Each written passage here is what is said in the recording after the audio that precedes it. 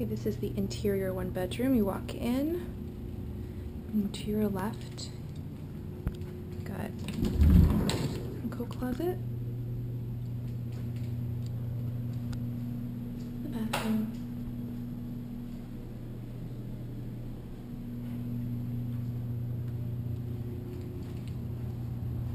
Here's the bedroom. It's large enough for a king size bed. Closets.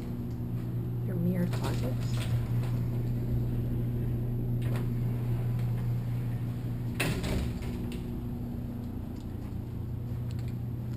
There's also a linen closet right here. And the kitchen.